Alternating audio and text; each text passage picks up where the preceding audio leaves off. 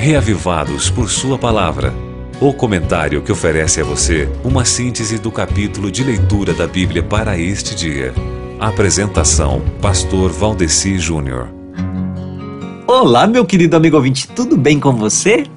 Você já fez a sua leitura bíblica de hoje? É? Já leu João capítulo 6 hoje, então? Muito bem. Então você sabe o que tem nesse texto bíblico de hoje.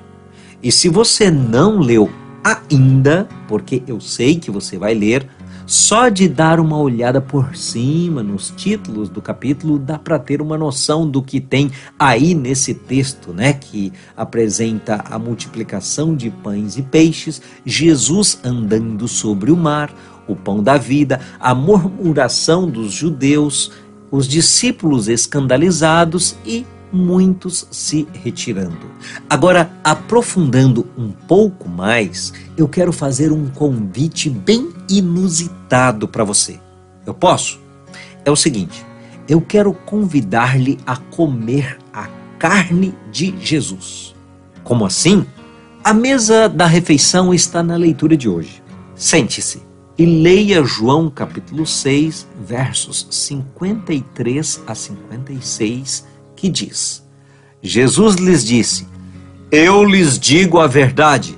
Se vocês não comerem a carne do filho do homem e não beberem o seu sangue, não terão vida em si mesmos, pois a minha carne é verdadeira comida e o meu sangue é verdadeira bebida. Todo aquele que come a minha carne e bebe o meu sangue permanece em mim e eu nele.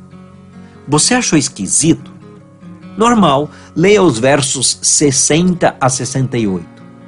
Quem ouviu Jesus dizendo isso, realmente, de cara feia, saiu torcendo o nariz. Mas, por favor, não deixe essa nostalgia lhe contagiar.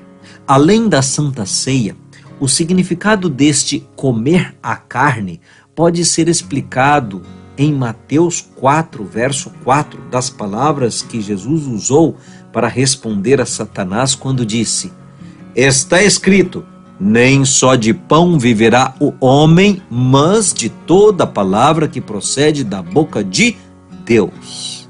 A palavra de Deus não causa náuseas, mas sim nutre as veias da alma com o próprio sangue de Cristo. Se você ler hoje João capítulo 6, estará participando de tão íntima comunhão com Ele.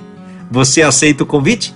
Então continue sentado aí, alimentando-se com sua Bíblia aberta, lendo no Evangelho de João o capítulo 6. E amanhã a gente se fala novamente nessa busca de ficarmos mais reavivados. Você ouviu Reavivados por Sua Palavra, com o pastor Valdeci Júnior.